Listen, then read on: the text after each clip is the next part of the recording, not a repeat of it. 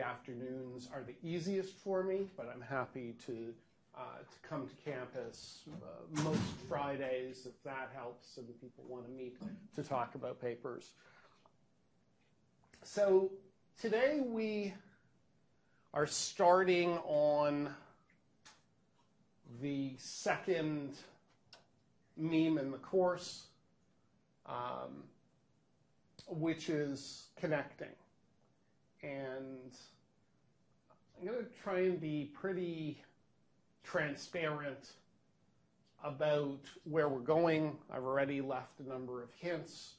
Um, but I've decided to do something um, as a result of a conversation after class last week. And I'll point out the slide that was really about that conversation, uh, but it was all about the relationship between the gamer and the game, and how are there ways of determining what who really should have a claim or are there any quantifiable ways of justifying status for modders or for the, the video game. So um, Greg Lastowka takes us, and his work takes us a certain uh, part of the way there, and I, I the, there were a number of slides last week dedicated to that. Um, today, I actually have decided um, to take a position really clearly, as if I, I didn't before. Um, so,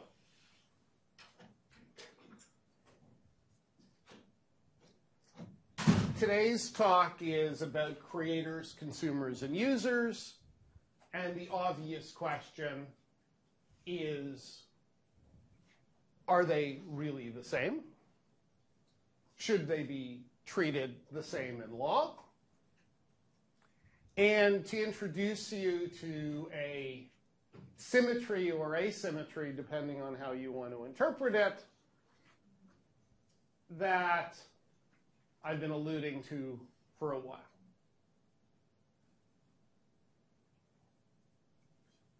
And if you look at it, you will see that creation, the meme of the first part of the course, has, was largely about copyright law and associated with copyright law. Second part of the course is about connection, and interestingly, it seems to line up with contract law pretty directly. And the next 10 minutes, um, we're going to go down a bit of a rabbit hole. Um, and this is actually totally new stuff, so I hope it's useful. Seemed like a good idea 2 a.m. Um, so this is a piece that I was reading yesterday. I was very disappointed to not find it online. It's uh, it's in one of those free um, periodicals, I guess I would call them, um, called Exclaim, which seems to be kind of a music um, periodical, a, a monthly uh, set of reviews and just a lot of music stuff in there. And it's an article called Gaming's Destiny Will Never Be Mainstream. And it's about the game Destiny. And since we're, call, we're talking about users and consumers, um, thought this would be interesting. Um, we haven't talked a lot about stats. So Guardians of the Galaxy, which was the big movie this summer, had an opening weekend of 161 million. Destiny, which is currently the big console game, had an opening five days of 325 million. And the article is really interesting because it kind of talks about what's mainstream. And Guardians of the Galaxy is very mainstream, yet Destiny won't be. And you have to look a little bit deeper. And the current generation of consoles, roughly, is about 23 million. Now, this is, you know, this is the PS4 and the Xbox One. The previous generation of consoles, uh, which I think of as Gen 3, um, was only 267 million installed base, which is, you know, depending on how you want to look at it, but 267 million worldwide is not that gigantic a number for a console generation that went, what, six years, seven years? It was a long generation. Um, and, sorry, typo. That's 1.2 billion, not exclamation point 2 billion. I'll fix that later. Um, 1.2 billion gamers and roughly what 285 million console gamers. Now you have to add in PC gamers, but I don't think they're a huge universe. There are a lot of people on PC, but how many PC gamers are there? Um, so I don't have that statistic. And you can extrapolate backwards from the 1.2 billion and see how much of that is on mobile devices. And that's a really big point. So now we really are talking about consumers.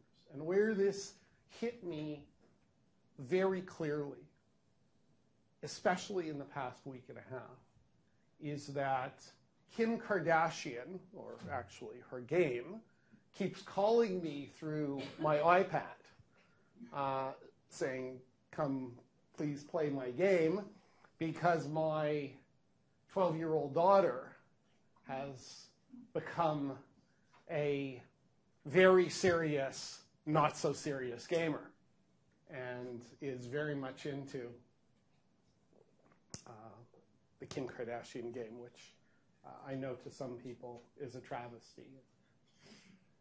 Can say as a parent, it's troubling at the very least. So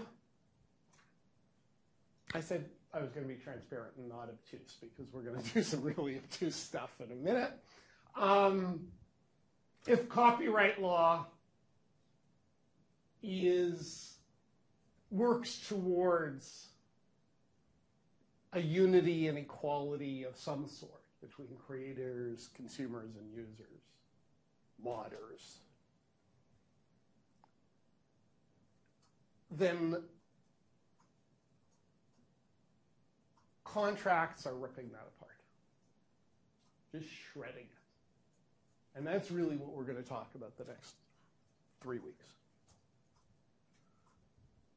So, if the law, I'm reluctant to call it the common law of copyright because it's statutory, but it's derived from international law. Um, so it, it, seems to have kind of a, a more legal e framework uh, than, than just some narrow statute. Um, if copyright law is struggling to deal with the digital age, contract law has determined not contract law, contracts have determined who's the 1% and who's the 99%.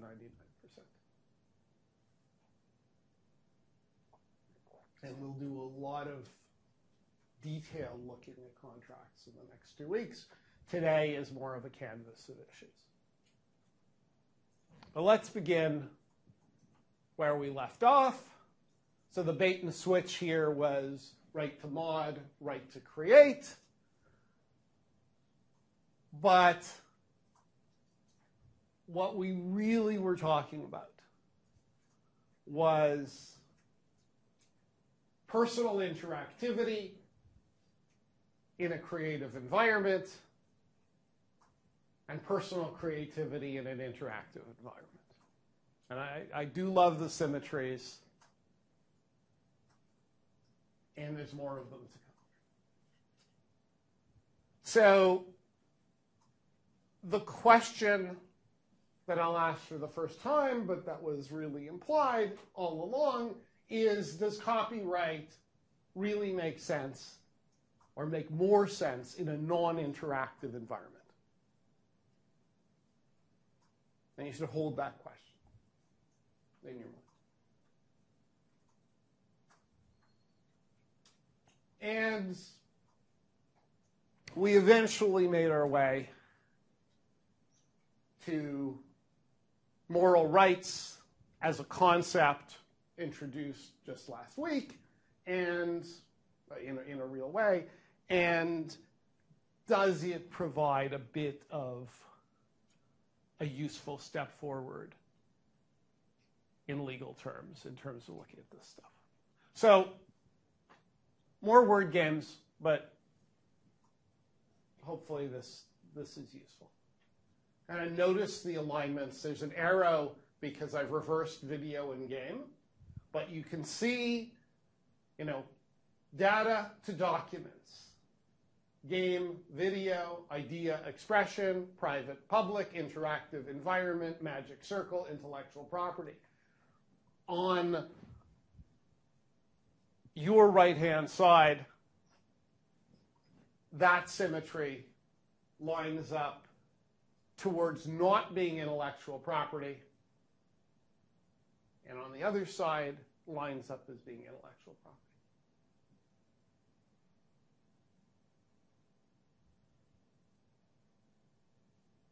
I think the best one,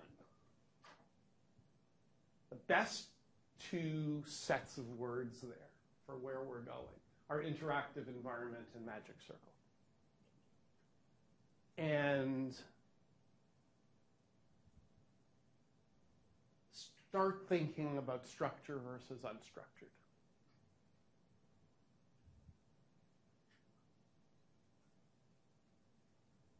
Think about playing within a structure. Think about any game, any video game. What is play and what is the environment? Line up the environment with intellectual property and it seems quite comfortable. Line up play with intellectual property, very uncomfortable.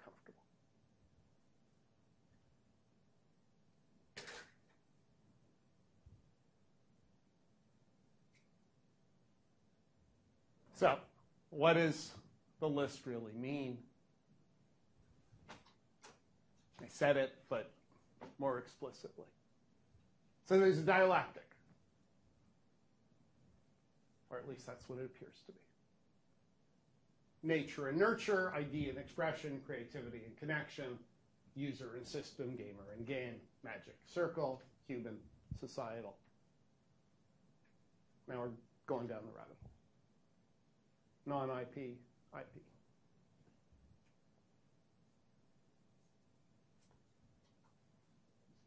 So what? This is where I was going to end. You're law students. You're brilliant. I can't figure this out. Please figure it out. Carry it. Write a paper on it. Somewhere late, late last night, I startled myself and I said, I'm not going to stop here. I really do have a view on this, and I, I think there's something um, Derek Parfit is essentially acknowledged as the greatest living moral philosopher, philosopher of ethics. He's at Oxford. Um, I'll let you read this uh, in your own time. and, and, and research it, but what he gets to in an entirely logical and non religious way is the concept of transcendence through connection. Utterly not religious. Does it purely through philosophical inquiry and moral inquiry.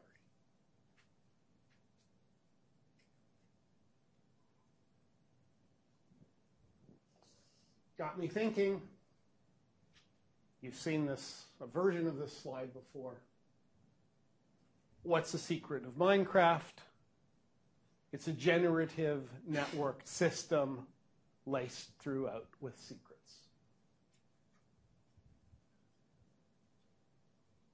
somehow seemed familiar to me. That's why I didn't stop.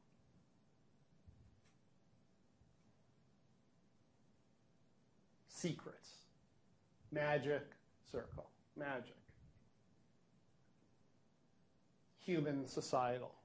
We can understand societal structures. We still don't have a real good handle on the human. Oh, creativity and connection.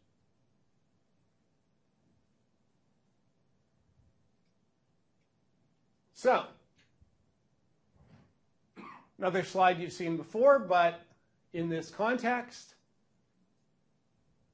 how virtual gaming worlds are revealing the nature of human hierarchies. So games and video games specifically as a way of illuminating stuff about ourselves that we don't know. And I think I mentioned, and, and this is why I didn't stop. I think I mentioned earlier in the class, a couple of weeks ago, sort of playing shooters and playing Destiny and not knowing who I was. And it's just this very strange feeling. And so all of this started making sense to me. We go back to Boyden. I have stripped Boyden here of any copyright talk. I have turned Boyden into a philosopher. These are his words. I've just sort of parsed out any real mention of, uh, of copyright. And I'm not saying they sound exactly like Parfit, but there's an alignment here particularly systems or shells into which users pour meaning. Okay, this is going to be the end of the rabbit hole. But it's a deep one.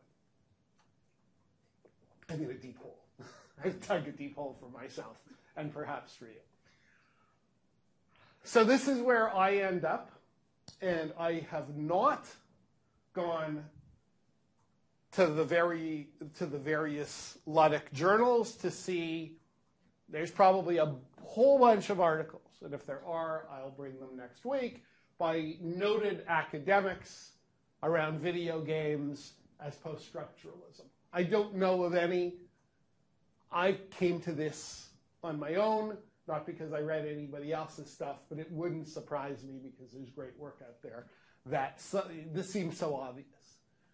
So uh, Jacques Derrida, who's a French philosopher, um, is said to essentially be uh, the father of post-structuralism, and there's a link to uh, the piece that started post-structuralism. It was actually at a seminar on structuralism. Um, and he criticized structuralism and he did it in a piece called Structure, Sign, and Play in the Discourse of Human Sciences. I read it last week because it had the word play in it and decided that it was both too dense and just impossible for me to understand. And so I wasn't going to include it, and I actually discarded it because it was just too tough but I did read it and, you know, looking for quotes. um, I went back to it last night and also looked at various interpretations of post structuralism. And what this really ends up being about is post structuralism is a way of interpreting the world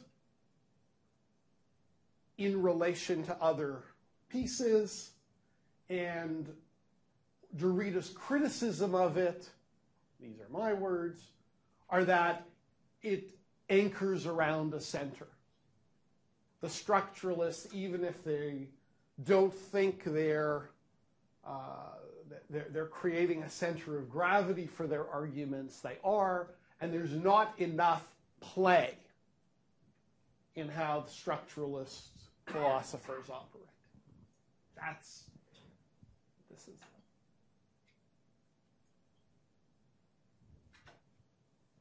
I went to my. Hmm, it's about nine inch high now, think is pretty impressive. Um, set of PlayStation 4 games. And essentially, I pulled words off of the back covers. Massively multiplayer, open world playground, content creation tools, cooperative mode, public gameplay mode, remote play, dynamic gameplay engine, world editor, scenery and character generators, artificial intelligence. All strike me, and I hope there's some philosophy students among you, as post structuralist concepts.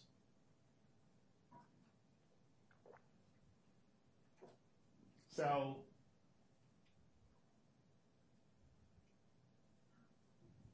one way of interpreting games is as a post structuralist means of play. If you interpret it that way, then, then copyright law is structuralist and contracts done by one party essentially are superstructuralist. And the point is all about the disconnection between what the law is doing and what the video games are doing.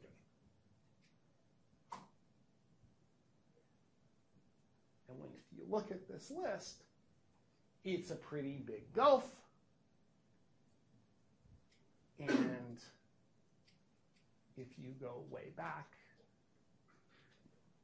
these lists start making sense.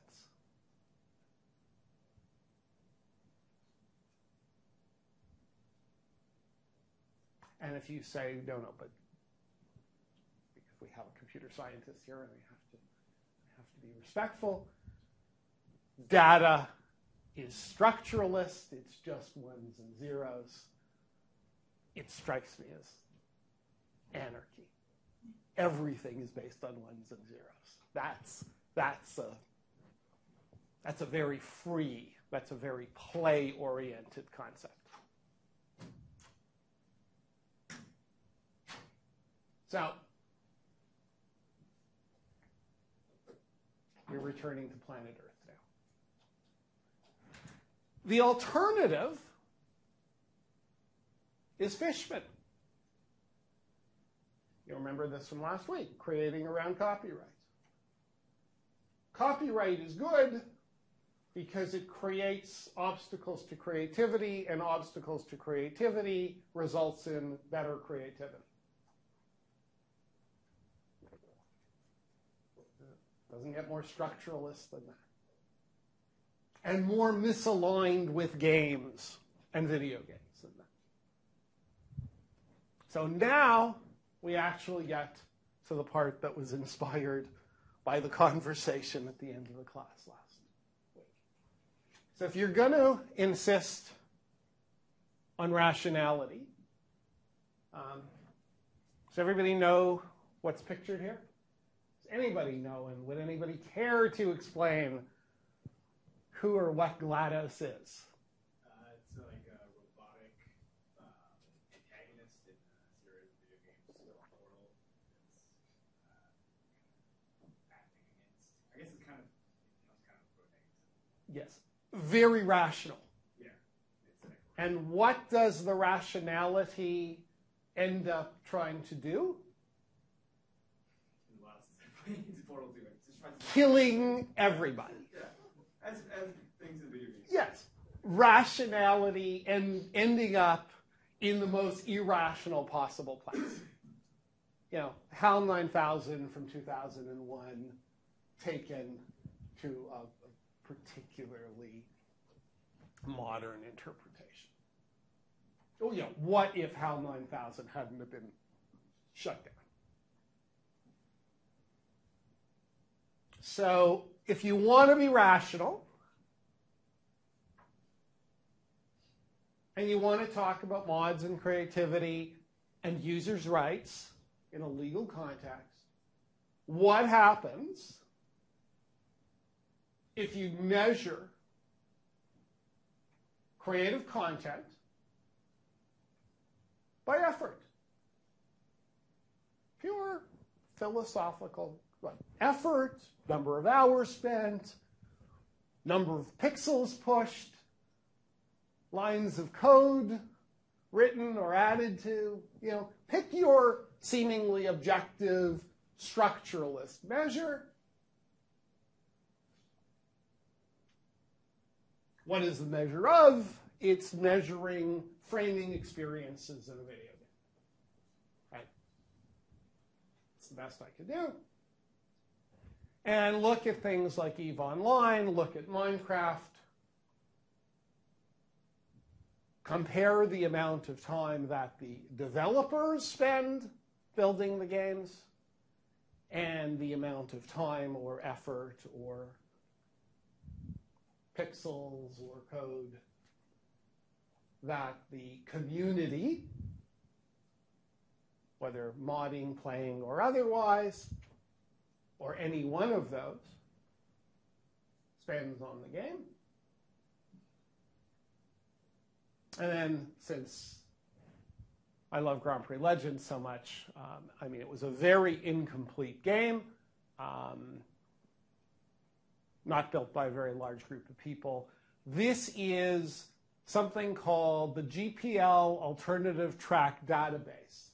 It lists all of the tracks that have been built by the community and gives you download links to them. And the best I could do on the screen capture was get about a third of the list. There's over 500 tracks. Now, we're not talking about cars, we're not talking about other things that have been done for the game. We're not talking about building multiplayer when multiplayer didn't work. We, we're not talking about any of that stuff, just sheer tracks.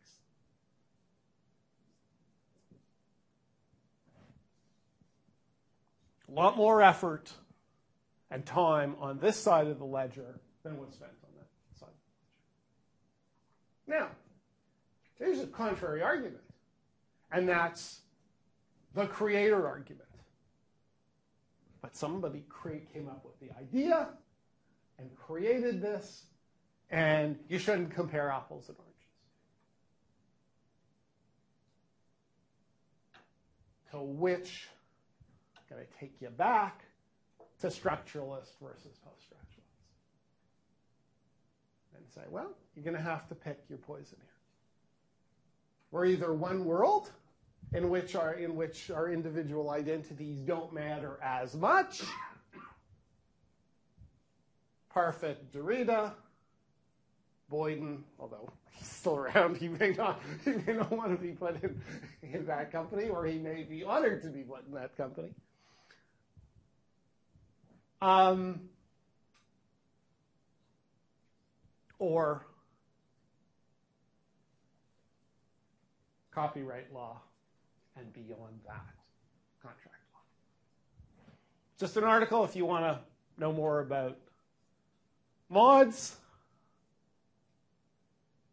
And this is a, an old piece. Um, so this is uh, Ralph Waldo Emerson on creativity. He said, To believe what is true for you in your private heart is true for all men. That is genius. Uh, remixed version To believe what is true for you in your private heart is true for all, and then make something about it for all to see. That is art. So again, we're 2014. Probably written 2012 connecting, sharing. So the core piece is connection, and what's ironic is that it's connection that brings contract law into our lives. Because that's how, in a structuralist world, we mediate relationships. And that is no less true in the video game world. it's very much more true. There are contracts between the developer and the gamer, end user license agreements, terms of service. There are contracts between the developer and those who distribute the games. There are contracts between the developers and the people whose tools the developer uses to build the games. there are contracts between the developers and or distributors and ISPs in various ways.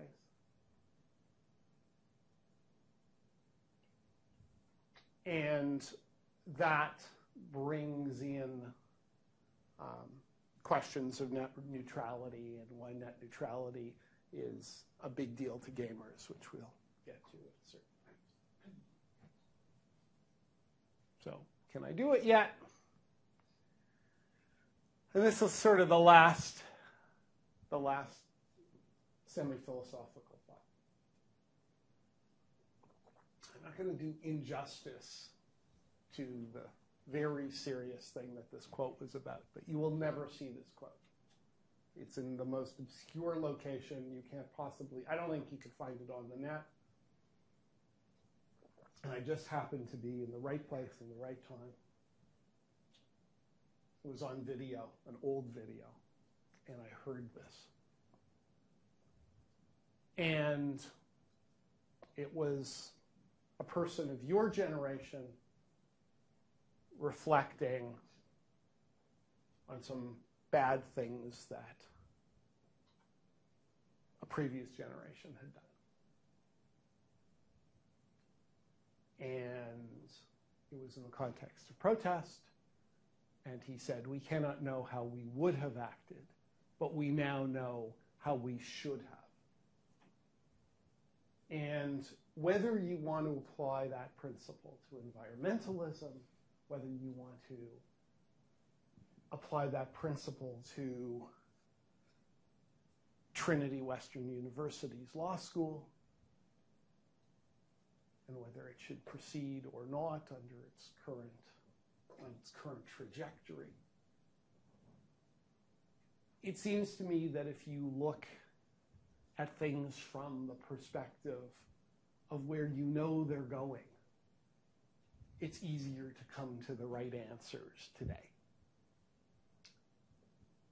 And video games, in terms of intellectual property and contract law,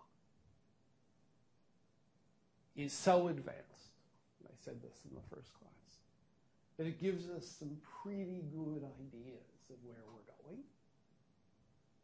And I guess where I'm suggesting we're going is that Derrida and others are right, and that post-structuralism is correct in terms of our relationship with each other. And I can go well beyond games and point to the internet as kind of exhibit A. So if we know where this is going, then shouldn't we make the right decisions today? And is it really so hard to make the right decisions? Um, and that, just in case some of you don't know, um, because this picture's certainly been around, uh, that's the Earth seen from the far side of Saturn. And that's an actual picture. So, not surprisingly, my conclusion we know what the right thing to do is. Let's do it. Resolve in favor of creativity. How? Well, maybe moral rights. Key, and, and moral rights is a meme, not as a law, but as something that informs us going forward. Has problems. Has some things in it you may not like. Has some things in it I feel a little uncomfortable with. It impliedly endorses, and we'll get to this, the right to be forgotten. So, how do you feel about the right to be forgotten? And we'll talk about this in a couple of minutes. So, Berne Convention. Um, what's really interesting about moral rights is that commercial impact is irrelevant. It's not a commercial concept. It's a non-commercial concept. It's about attribution and integrity. You think about it, it's pretty amazing that in 1886, somebody, it's really interesting historically to figure out who figured this out, came up with attribution and integrity, which seem to be the two currencies that in the modern digital age make the most sense. And think about in a structuralist, post structuralist way. This is not very structuralist. It's got a lot of play in it, very subjective, very individual. No two situations will be the same think of Snow versus Eaton Center. I mean, there, you know, when, when you first hear that case, it's like, are you kidding me? Is this a game? Ducks in the Eaton Center wearing wearing Santa hats, and they cut, and the court says, no, take them down, take the Santa hats down. It's fantastic stuff. Anyways. And then Sorry, the slides get squished. I keep trying to make them small so that that doesn't happen. They, they look totally normal on my laptop. Um, this, I, I picked the, the most artistic tattoo I could find on the open internet where I didn't have to worry about paying royalties to the tattoo artist because that's what we need to talk about. Because now you're equipped, and you'll come up with whatever your answer is, but I'd like to think you are now equipped to think about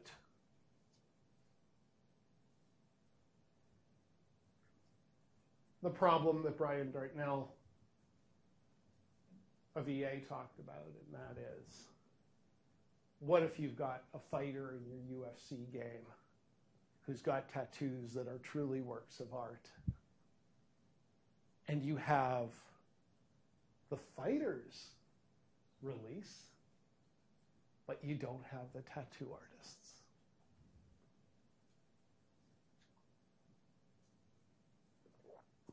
How do you resolve that? Do you resolve that?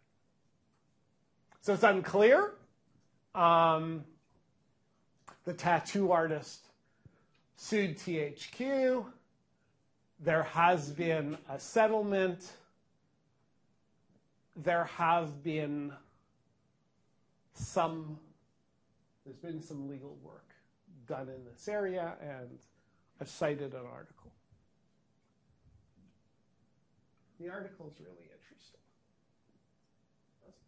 Yes? Um, I'm curious, is there any sort of precedent for how these tattoos are dealt with on television in terms of copyright and moral rights? Because I mean, television stations. Great question. Um, so the uh, I can't give you a television example. I can give you a film example, um, and you can look it up. But the Mike Tyson face tattoo in what was the film about the four guys in Vegas. First one was good, second one was okay, third one was horrible. Sorry? The Hangover. The Hangover, right. So, tattoo artist comes forward, film company settles with. So, what you have is, I think, in reality, is if you're a tattoo artist and you've done someone famous and it's prominent. Uh, because remember, there are, de minimis, there are de minimis rules around copyright too. So if it's really a tiny thing, um, it, except in very, you know, there's a little bit of dicta from the United States uh, around remixing of music that there's one case that says it's a bright red line. But generally, um, the prominence of the use, and especially now, um, and especially in Canada where we clearly have users' rights, uh, and fair dealing has become much broader as a result of the Supreme Court of Canada decisions, a minimal use wouldn't do it. So we're talking about major use. Yeah, I guess my question was that how far does this, uh, this, this idea that uh, you know, something on your body can be the copyright of someone else because uh, you get your makeup done by a famous makeup artist and then have a picture of you taken or a haircut done. D- Do they have to? Do they have to name wh- whose dress or suit you're wearing on the red carpet? Or if What if they don't? What if, you got plastic surgery done and mm-hmm. you're more beautiful and you become famous and now you're getting filmed and then your plastic surgeon sues you and says, hey, I should get some of this money because you're beautiful because I think you're beautiful. Yeah, you, you know, and, and you, you can actually see the digital age dealing with this because you'll be able to scroll over your, your screen and, you know, hair by, uh, you know, facial surgery by, you know, we're, we're clearly getting to that age. I'm actually going to answer your question very directly in one, not more than two slides. Um, but I want to show you kind of the conventional approach. And you kind of go, okay, was this written facetiously or was this written for real? This is a published law journal article. And it says before getting a tattoo, anyone with a reasonable expectation of fame should arm herself or himself with a made for, for with a work made for hire contract, a joint work agreement specifying the customer's contributions and expressing intent to make the customer a joint author or some other written document transferring ownership from the tattooist and the tattoo business to the customer. I really like to think that the author was tongue in cheek. When are most tattoos applied? And under what situation is the subject to whom the tattoo is being applied? You know, what, what sort of relative state is their zeitgeist in when they're getting the tattoo applied? They're going to walk in with three agreements? So I, I'm pretty sure this is tongue in cheek. It doesn't resolve the problem. Sorry. I, I've never received a tattoo, but I've got a feeling uh, most of the reputable tattoo shops would probably get you to sign some sort of contract or release or something like that. So maybe it wouldn't be so No, I'm not saying it's inappropriate. I'm saying it's unlikely. I'm, I'm perfectly good with appropriate. Um, this, I'd like to think, is the answer to your question and the answer on tattoos. And this is the only precedent I know of that's gone to court. Again, this is this is a great paper. The reproduction right of the tattoo artist is limited to the actual design. So the tattoo artist can take the same tattoo that they apply to me and apply it to you. It's not an exclusive design. I have no right to insist I will be the only one with this tattoo unless I'm going to enter into a contract and I'm going to pay for that as I would with any other artist. It's the artist's right to decide how many in the series of paintings, of tattoos, or otherwise.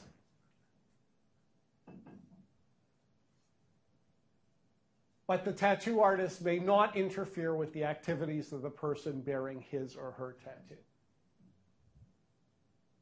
Now, here's where it gets really interesting and on point for this discussion.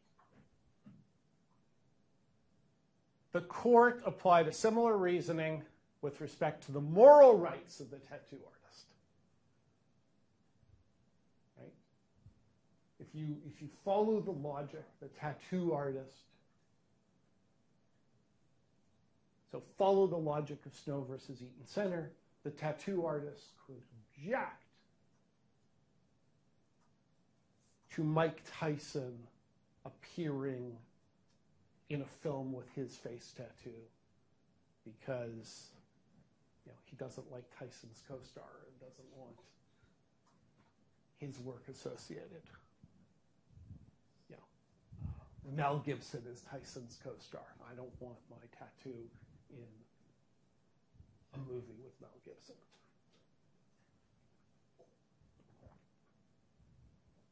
Court said moral rights are subordinated to the personality rights of the of the tattooed person. I mean, interesting choices. You don't see a lot of cases where this stuff really resonates. This court made a choice: personality rights above uh, somebody else's moral rights. That makes a lot of sense. Because what if you got a tattoo one night and, you know, you got up under unusual circumstances getting a tattoo, and then you woke up the next morning and decided you hated it. Um, so you wanted to change it, so maybe you got like a, you know, a heart, and you wanted Right. to change it into a butterfly. So you know how they have those terrible TV shows where people get ugly tattoos and then they change Yes. a pretty one. But if there were moral rights of the tattoo artist, you couldn't mod on that tattoo Exactly. it would be on your body forever. Which is why I think the personality rights issue is correct, because it puts the power in, for our purposes, the gamer, not the game. The player, not the structure. But I think there's one more reason, and I think this is code for a deeper reason because we talk about personality rights. Well, it's not even code. It's almost there. The design is reproduced on one's body. This is almost this is a physical right. This is a right over your own body. We have that in other areas of law. And it seems logical that an individual should have. This is, this is not going to strike you as strange as law students that a woman and a man would have rights over their own body. And that somebody else wouldn't have a right over your body. So it's pretty logical. I think that's how you traverse this stuff. But if you if you want to follow the metaphor all the way through, you end up with more power in the actual person who's engaging, which is the person with the tattoo, or in a video game context, the gamer, not the developer who built a game two years ago and built a structure.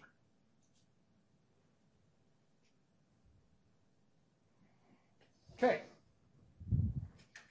So, we're going to do this moral rights thing. It's an interesting conundrum to resolve. And it's, it's got some fascinating political overtones. And that is, and have I mentioned this before? Don't think so. If I have, I can go through it more quickly. In terms of political alignment, it always struck me as really strange that the privacy literalists and the IP literalists had different views of each other. If you're an IP literalist, you tend to think that privacy is less important.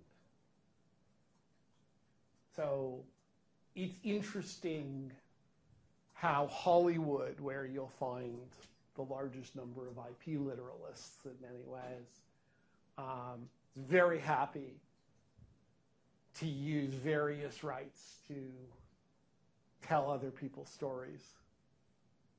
And they want data on all their consumers, and it's not, you know, it's not really, they don't see what the problem is. And likewise, people who are campaigning are very pro privacy tend to align with more open source stuff and, and, and tend not to be copyright literalists.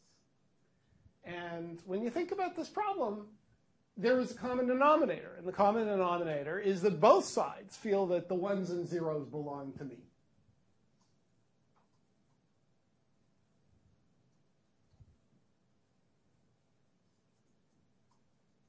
So, where does that take us? If you want to look at it in a moral rights context,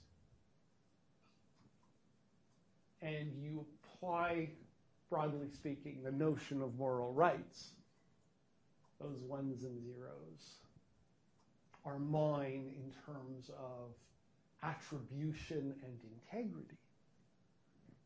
That gets you really close to the right to be forgotten in a privacy context. And, and I find myself uncomfortable with that because I'm not a big fan of the right to be forgotten. But if I am a fan of moral rights, it seems to take us there. And of course, we're, and this is a very live issue. European Court of Justice has ruled that Google has to respect the right to be forgotten. It's entrenched in, in European law. I've given you a site. Um, again, great papers here. And, and here's the actual decision.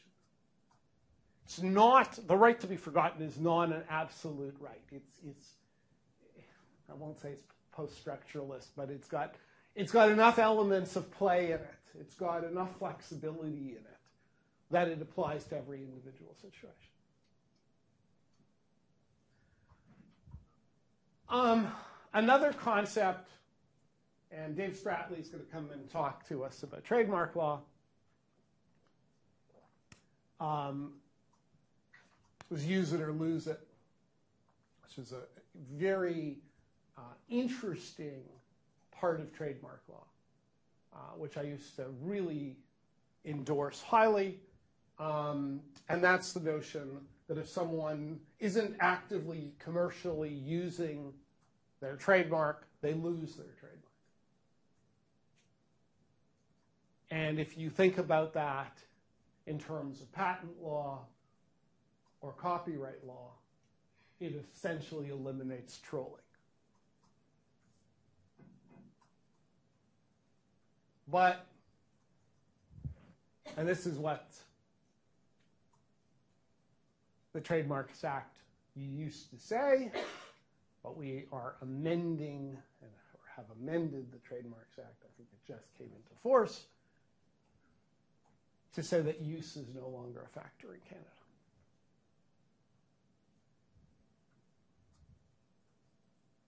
So now we arrive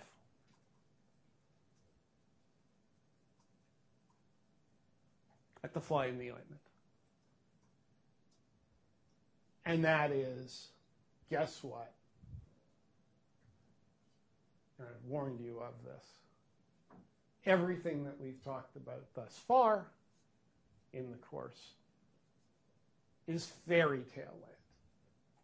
Because we can wax poetic and philosophical about what copyright law should and shouldn't be, but contract law supersedes it. And so the reality is that when you're on an app on your computer, you are not being governed by the Copyright Act, you're being governed by the contract between people. We are already in a post IP world. And, you know, examples, you know, Facebook's experiment on everybody. The question becomes what did people know from the terms of use and from the end user license agreement? Was there enough disclosure or wasn't? So right, we're learning. Go right to the contract. Positive aspects of this in a gaming context. End user license agreements are used by developers when toxic things happen in their community. Now, would there be other remedies? We'll talk about that in due course. Ooh. So, is IP law getting swept away by privity contract, um, privacy agreements, other kinds of, of law and regulation? Question for you to think about. And I know nobody buys a CD anymore. But back when you did buy CDs, you were in elementary school, why was there no end user license agreement? You never had to agree to anything. There was no contract in the CD. There is on iTunes.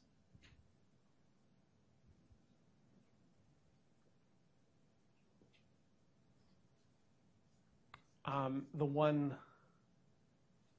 point here that's that's that's worth noting. I, I mentioned it um, a couple of weeks ago, and that is that for years, this was pre-multiplayer, EA didn't have contractual terms on its games. They treated their games like a like a music CD you bought, and they were quite content. And I talked to their general counsel at the time, and they were like, copyright law is good for us. We're fine with it. We don't have to add additional burdens to consumers. That really did change when multiplayer came in. So there's a whole bunch of factors the infinite sliceability and diceability of IP, the fact that IP itself is post structuralist, at least in that way, makes it very contract friendly. I can give you the rights to use a copyright every second Tuesday of the month in Belgium during the year 2016. And I can give everybody else every other little piece of those rights as long as they add up to 1.000. Well, actually, they don't have to add up to 1.0. They can add up to whatever they add up to as long as they don't add up to more than 1.000. And as long as they don't overlap onto each other. Um, the problems, and we will talk about this.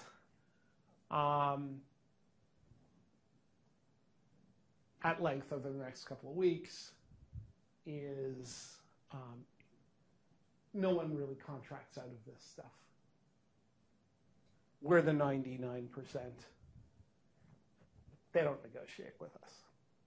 Which is particularly fascinating because they're very, very happy to be to address ads to us extremely personally, but they won't do contracts with us equally personally.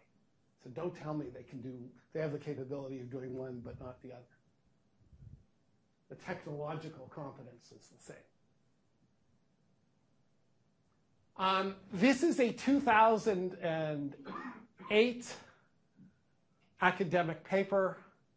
Uh, to read all of the privacy policies you encounter, you need to take a month off of work every year. So they, the, the, this, was, this was done academically, average reading of a uh, level of a second year university student working 10 hour days, one hour off for lunch. If you read every privacy policy in 2008, didn't include end user license agreements. I did a back of the envelope calculation, and I come to it would be about seven months a year for us today, if you actually read these things. And then, you know, click wraps have been upheld. Uh, average rate of readership of EULAs is on the order of 0.1% to 1%.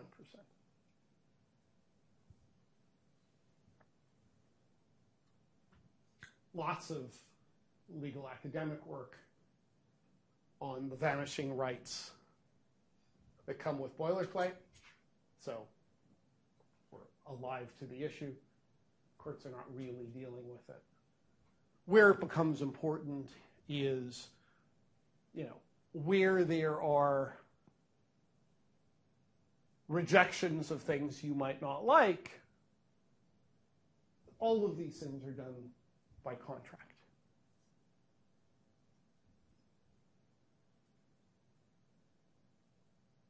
And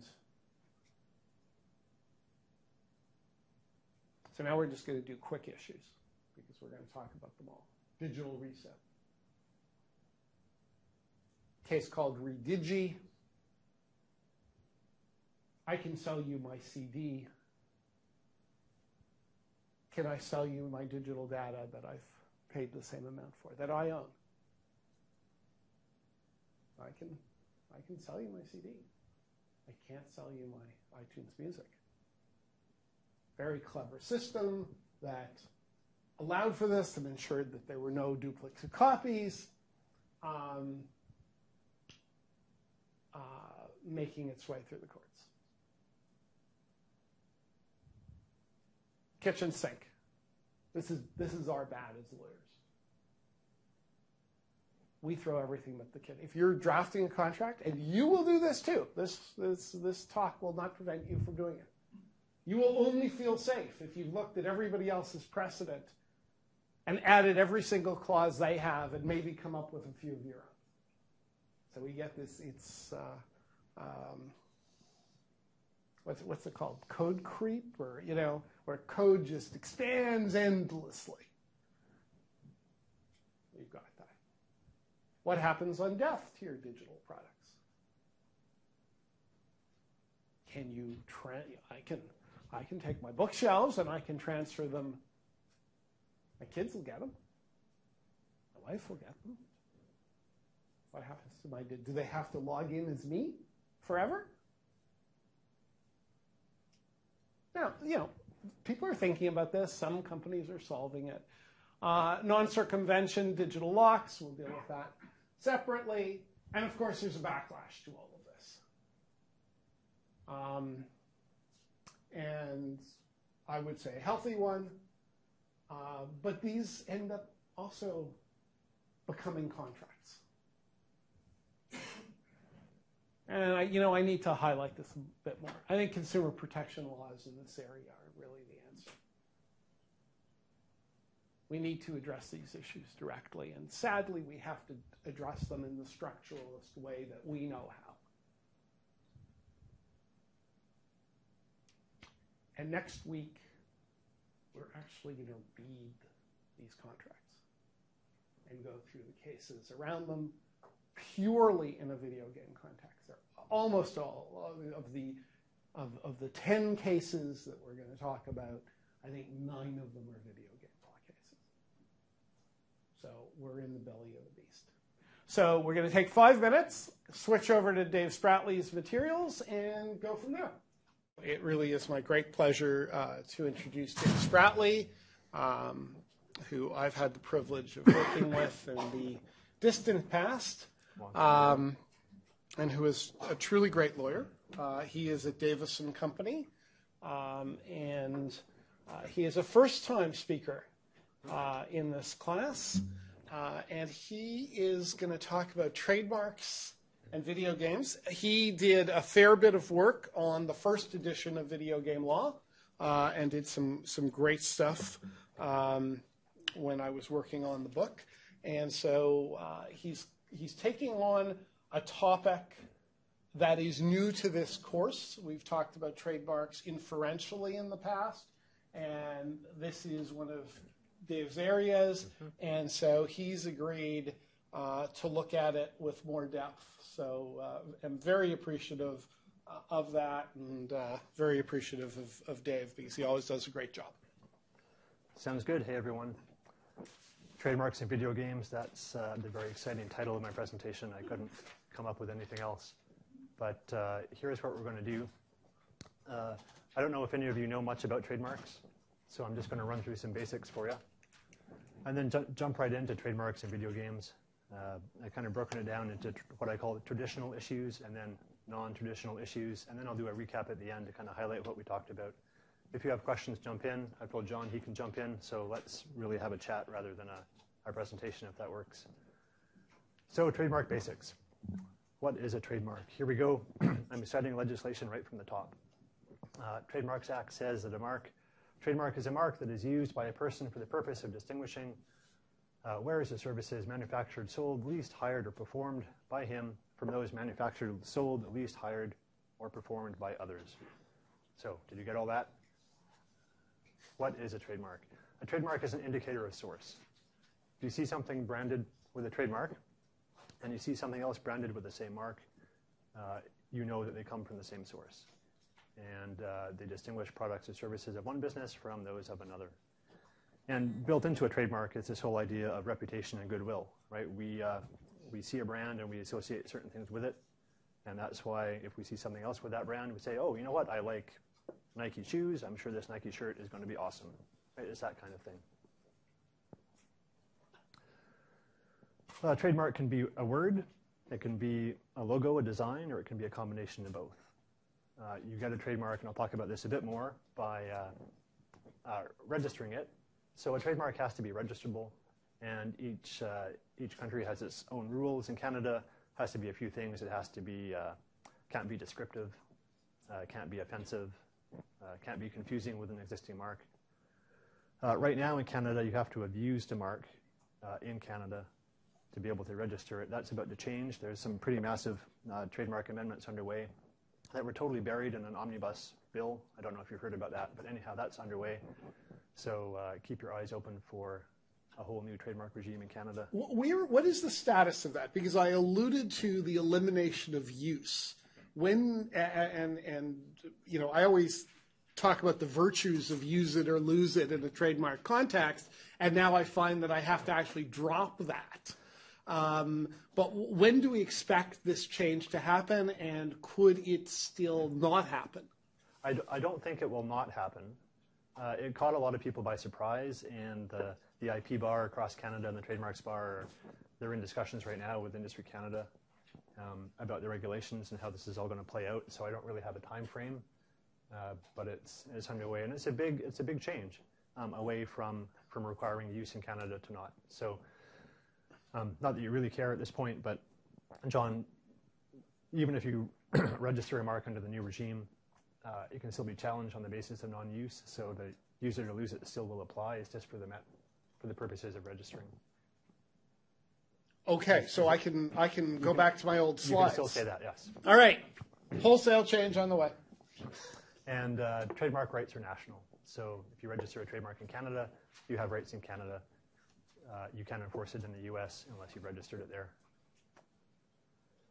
Now, each trademark um, is registered in association with specific products and or services.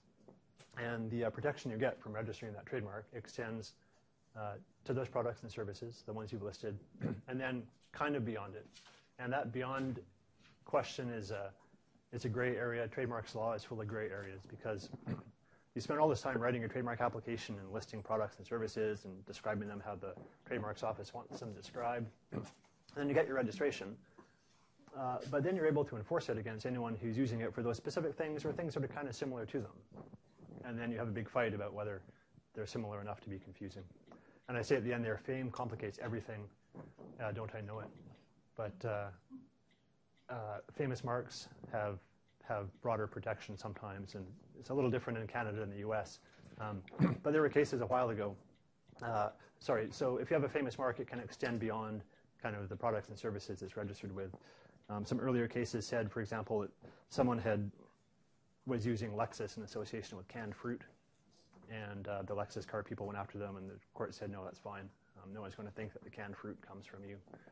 Uh, things are a little different now. I was so disappointed when the publisher of our book, because you were part of the first one as well, didn't send us a car because it's Lexus, right? That's right. That's right. Uh, I quoted from the Act again, just to swamp you with words.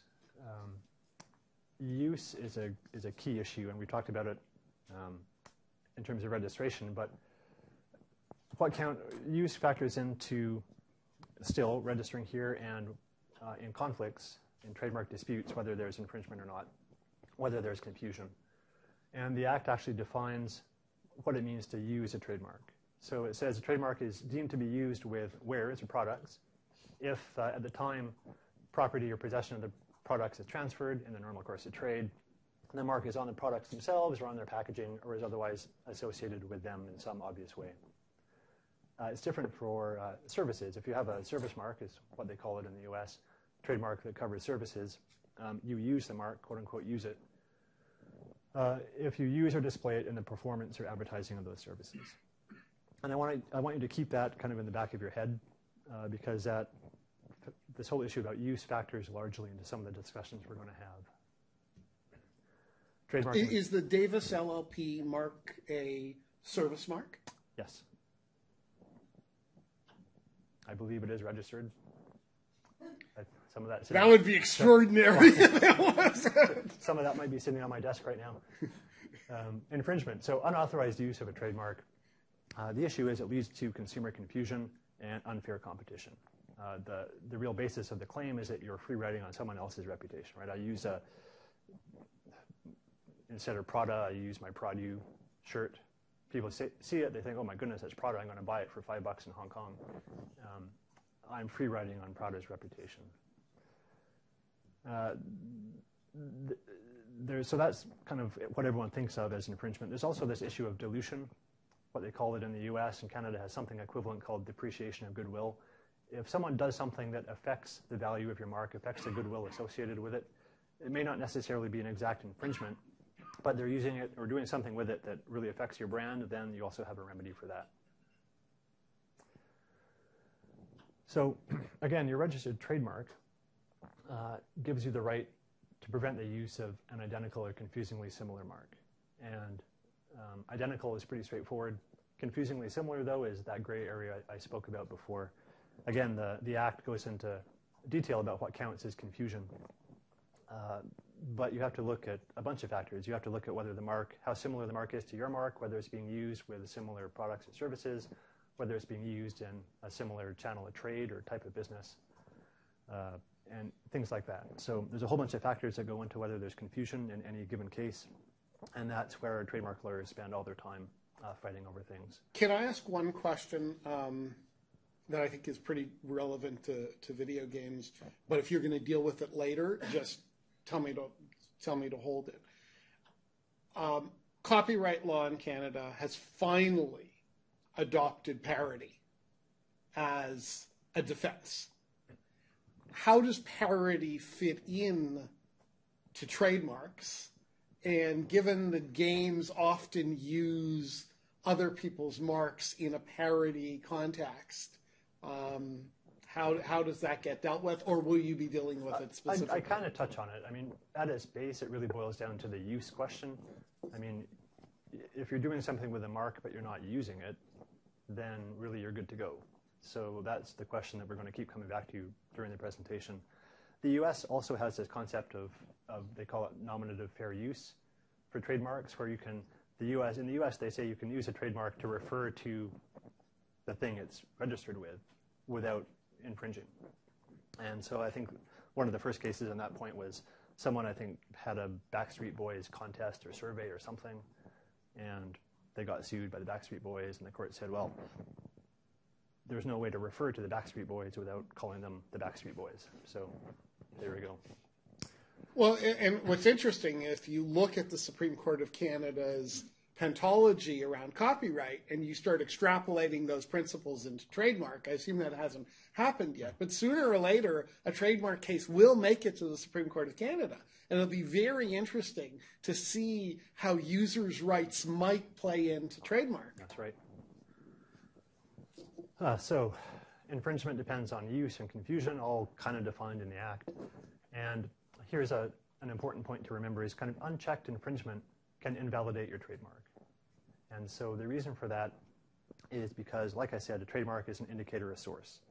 If there are multiple trademarks that are confusing with each other in the marketplace, all of a sudden they're not distinctive of one particular source. Dis- they refer to multiple sources. Consumers don't associate, associate them with one source.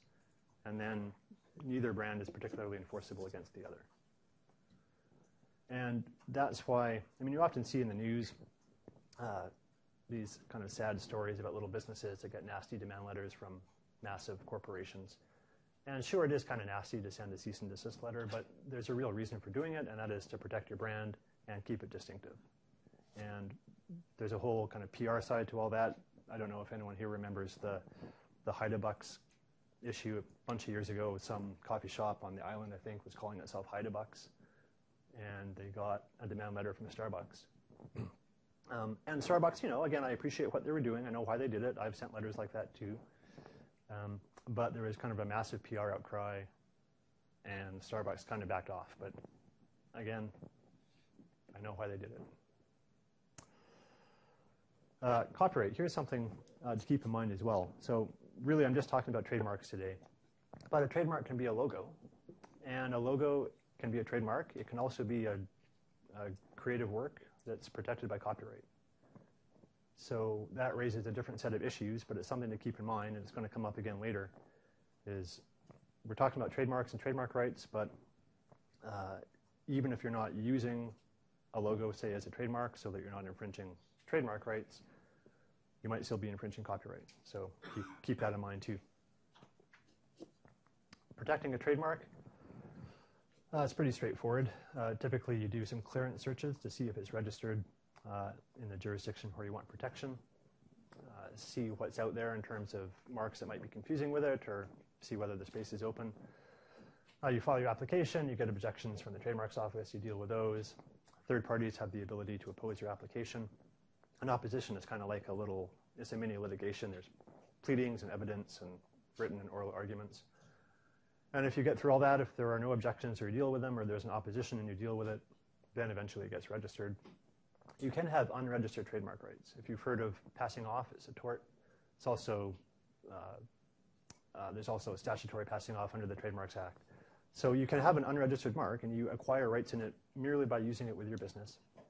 Uh, but those rights are limited to the jurisdictions or the geographical locations where you can prove that you've developed a reputation. So the benefit to registering a trademark in Canada is that then you get trademark protection across Canada, regardless of where you actually use your mark. So trademarks in video games. Let's get into the fun stuff.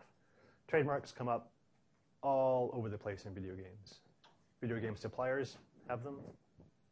Video games themselves have them. Sometimes they're in video games, and that's the really fun stuff. So we'll get to that. Um, but let's Is talk. Crazy Taxi Uh, you know what? I, Simpsons? I, I, you know what? I've forgotten what that is actually. Okay. I've forgotten what that is. Um, I must admit it. Is it? Yeah. Haven't played a video game since my son was born four years ago, so I'm kind of out of touch. Uh, let's talk about what I call the traditional trademark issues. So here's a good example. November 2001, this thing called the Xbox happened. Uh, right? Microsoft launched its console. Um, but what happened before that was interesting because it's a little hard to read here, but there was this company called Xbox Technologies, which did computer stuff. And they had some trademark applications or maybe even registrations, I can't remember. Uh, and Microsoft announced its launch. It said, this year's what we're going to do. We're going to have this awesome thing. It's going to be called the Xbox. And all of a sudden, this popped up, and they had a big dispute. Uh, not surprisingly, Xbox came out on top. I think the party settled. Xbox Technologies removed their marks and probably got paid a lot of money, and now we have the Xbox. Here is another example. Dark Age of Camelot is, uh, is or was a very popular online multiplayer game. Um, uh, provided by Mythic, Mythic Entertainment. There's Mythic's mark. Um, Microsoft, they come up a lot, don't they? Uh, came out and announced that they were going to produce their own online game called Mythica. Uh, again, big dispute, big fight, lots of words exchanged. Uh, at one point, and this is my favorite part, um, someone high up from Mythic Entertainment said that they were going to call their next game Microsofta. uh, Scrabble versus uh, Scramble with Friends. Uh, another word game. I think that's can't remember who provides it. Uh, but again, a trademark dispute. Uh, this one was in the UK, I believe, and uh, the Scrabble people. I can't remember who owns the Scrabble rights in Europe versus North America. I think it's different. But anyhow, they sued, uh, and the court said, I think this might have been an injunction, but the court said, well, you know what? Scramble and Scrabble are different enough words, so we're not concerned there. No problem um, with having your Scramble trademark, but we think that specific design uh, is confusing because the M in kind of that weird configuration looks a bit like a B. So that's confusing. So you can't register your, or you can't register or use your, your design there, but you can call your game Scramble. Oh, and here's, a, here's another one. So Bethesda, the Elder Scrolls video game. Uh, Mojang, they've heard about them. They're $2.5 billion to the good right now. Um, they announced that they were going to produce a game called Scrolls. And again, dispute, lawsuit, I believe, uh, eventually settled. The Mojang Scrolls game certainly exists now. I think the part of the settlement was that Mojang would not actually register the, the trademark, but they could use it with their game. So these are all what I call kind of traditional trademark issues. Right? Really, these are these are businesses that are using marks for their products or services. All the standard questions come up. Are the marks too similar? Would their use cause confusion? Um, as I've said, there's nothing really video gamey about it. Right? These are the same as trademark disputes you have in any in any industry. So, sure, it's video game related, but it's not really. There's no special video game twist to it. So let's go to the not so traditional uh, video game trademark issues, and these are really the fun ones. Frosty Treats, right? Big company, they sell uh, Frosty Treats. They sell ice cream, and they're little ice cream vans with the clowns on, on the side. Then this happened. Um, I've forgotten which game this is, and it was it's in the it's quite an old game. I don't know if it's still around, but um, Carmageddon or something like that. Anyhow, so you'll see there's a little van here. Ice cream van has a clown on the side, blowing up other cars. Frosty Treats is not impressed. They bring a lawsuit, uh, and the court says, "No, that's fine. First of all, the, you know they're not doing anything confusing. No one's going to think that this crazy ice cream van is in any way associated with Frosty Treats." Um, but it's an interesting issue. Here's another one, Grand Theft Auto, one of the older versions of it, had a, had a virtual uh, strip club, I believe, called the, the Pig Pen. There was an actual real life gentleman's club called the Playpen. And, uh, and they objected to the use of this in-game this in-game business called the Pigpen. Again, uh, didn't really get anywhere. The court said not confusing. It's no one's going to think that you're associated with it. It's a non-issue. Great decision, though. I mean, it, it's really neat because there's an actual decision, mm-hmm. kind of well worth reading, that parses through the issue in in in a slightly tongue in cheek way. That's right. Why wasn't that exclusive to Derek? Well, as Jon said, if you're if you're basing your claim on trademarks, there's no real acknowledged kind of parody exception for trademark use, or there's no kind of there's no equivalent to fair dealing or fair use, really, for trademarks in the same way there is in copyright. Um, and, and there's a whole series. Just if you line up the Copyright Act and copyright law and trademark law, there's a whole bunch of stuff missing in trademark law.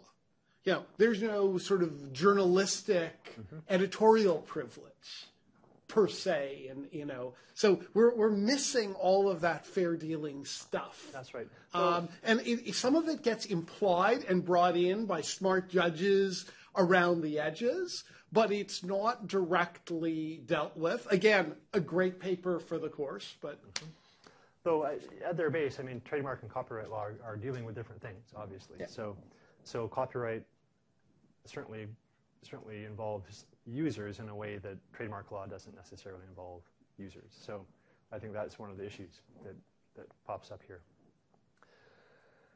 Um, what was I saying?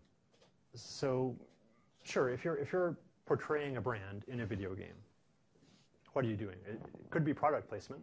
Some companies definitely do that. They pay to have their brands in a video game the same way they pay to have them in a movie or a TV show. Um, Barack Obama, I think in his first campaign, his campaign ads were popping up all, all over the place on online games. Um, I can't remember which, there was a car, one of the car games, right? There was, you would drive by a billboard that had a Barack Obama ad on it. Um, some of the sports game had billboards with his stuff as well. But if it's not product placement, if, if the brand owner hasn't paid or done something to have the brand there, then then what are we dealing with? Is it infringement?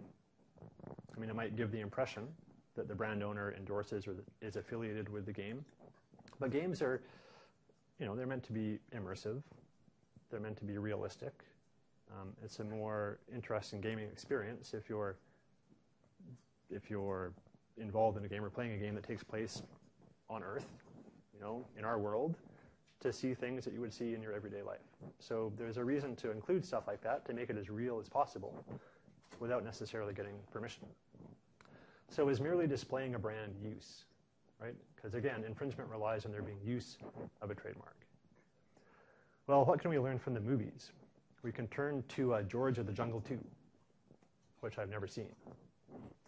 Apparently, so I'm told through this case, that the villains in this movie used Caterpillar bulldozers to do nefarious things. Caterpillar sued. Um, its temporary injunction application was dismissed. Uh, the court said, well, your infringement claim is not likely to succeed. Uh, there was no indication that Disney had used the Caterpillar brand or products to free ride on the marks, on the reputation or goodwill. Um, they weren't trying to drive sales or consumer awareness of the movie. It wasn't that Disney was thinking that a whole bunch of Caterpillar, I don't know, bulldozer owners were going to rush out and see George of the Jungle 2. Court also said that the, the dilution claim was not likely to succeed. Uh, nothing in the movie suggested that the, the Caterpillar products were shoddy or were cast in poor light. Judge pointed out that the movie was fictional, had fantastical elements, and the Caterpillar products were merely inanimate implements of the villain's nefarious schemes. I'm sure that's a direct quote. Uh, and were not directly responsible for any unsavory activity. And you know, when you think about it, that makes good sense. It gets back to what I was saying. You know, what um, if you're if you're filming a movie and you happen to pick up a brand, uh, probably not doing anything wrong. So why not the same thing in a in a video game? That's what I would say. Can, can I just stop you there because and you weren't here for when we were talking about it, but you said something really intriguing, and I'm going to go down the the the legal rabbit hole with the class and you. You said, don't forget that when you've got a trademark, you often also have a copyright in a particular piece of artwork. So now let's follow through on the Caterpillar example and imagine this is a Canadian lawsuit where we've got moral rights at stake. And under copyright, Caterpillar, now magically a Canadian company, suing a Canadian film producer in Canada, says, We don't want our Caterpillar artwork. You know, we've got this really beautiful and very original black triangle, and it's, uh, it's, uh, we, don't want it besmirched by having it be an object of destruction because we believe in pacifism and building, and that's what our brand is all about. And so we're asserting a moral rights claim. There is a way to mm-hmm. get there in Canada that wouldn't exist in the States. Well, that's an interesting point. So, two things there. One is that moral rights aside, if we're talking about copyright, Canadian Copyright Act has an incidental inclusion clause. So, it's not an infringement of copyright if you are doing something, taking a picture, making a movie, and you happen to reproduce a copyrighted work, but it's not really the focus of what you're doing. So, I can take a picture. There's not a good example here, but say there was a UBC brand on the wall, I could take a picture of you guys. It would capture the UBC brand, or the UBC design, the logo, but I wouldn't be infringing copyright because I wasn't. Right, but but somehow the, the, oh, the film director decided that the money shot was of the Caterpillar logo before all the destruction right, happened. Of course. Well, you know what? Then there would be an interesting argument. On the moral rights side, kind of interesting because moral rights are with the, the author, not necessarily the owner. So presumably the, the person who designed the logo has waived. They were Canadian, they would have waived their moral rights in favor of the company. Exactly. No, So- but you become very, Yes. you know, if this was an exam course, it would be the owner of of of, uh, Ca- of Caterpillar who designed the logo. He's still around. He owns the moral rights in the work, et cetera, et cetera. But but it's very it's a very interesting thing because we've been focusing a lot on moral rights. So I'm bringing this Okay. up almost about the other 80% of the course, if you will, to think about and contrast how moral rights might work in a trademark context and whether you think that's good or not good. Does it help or doesn't it help in terms of user rights and other things and modders' rights? You know, I was in uh, Toronto last year, and I had never done this before, but I had some time to kill, so I went to Eaton Centre um, to make my pilgrimage to the to the the birthplace of Canadian moral rights case law. That's kind of how much of an IP nerd I am, I suppose. Um, I lost my train of thought. Oh well, the, the overlap between trademark and copyright comes up in a bunch of other places too, including in uh, in the whole gray market gray market import area. So there's some very confusing case law from the Supreme Court um, where, where people are trying to rely on, rather than trademark law, on copyright law in packaging to prevent gray market imports and sales in Canada. So it's an interesting dichotomy that comes up in a bunch of places. Uh, so uh, George of the Jungle 2 court also says it's a common phenomenon for branded products to appear in movies and television shows. And what happened in that movie was probably not trademark infringement or unfair competition. Um, and you may think about this. You look at a lot of TV shows, especially reality shows, and, and people will be wearing clothes with things blurred out and whatnot. There's certainly, I mean, I'm not here to talk about copyright clearance. I'm here to talk about trademarks, but there's certainly a paranoia on the copyright side that I think television people especially err on the side of caution is that they they will just blur out logos and things like that where they're not sure um, if there's an exception that might, might apply to them because people will sue you, especially in the US. So they err on the side of caution. I think often uh, copyright clearance is, uh, at least in Canada, is kind of over the top because, again, there's the incidental inclusion exception, things like that. You don't have to be uber paranoid about every design or piece of art or what have you that appears in your work, but people are anyways. All right, another uh, another stellar movie here. Again, I have not seen this. Dickie Roberts, former child star.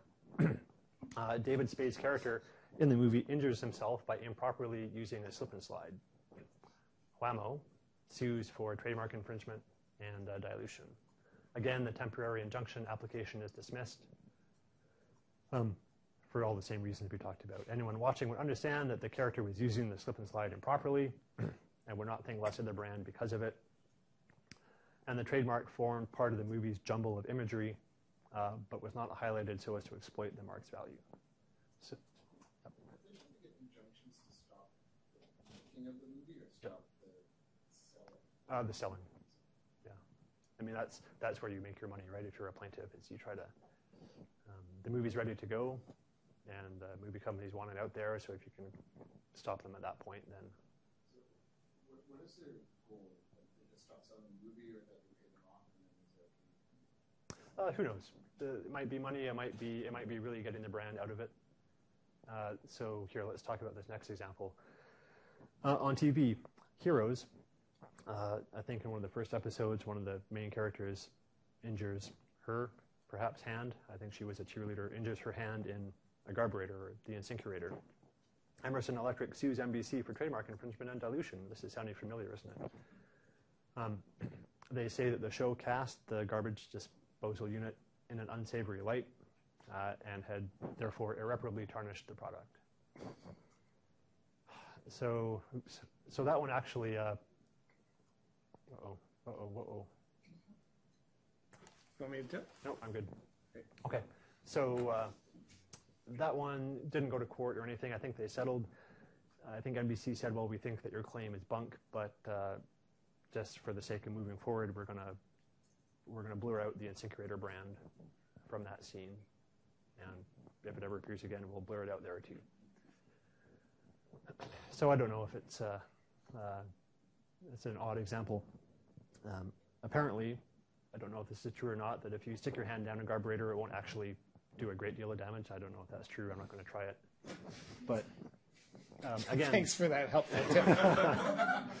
but even for the, uh, uh, the the previous example, I mean, if someone is doing something obviously wrong or misusing a product, then how can it be a how can it affect the brand to display that? But again, brand owners aren't always rational.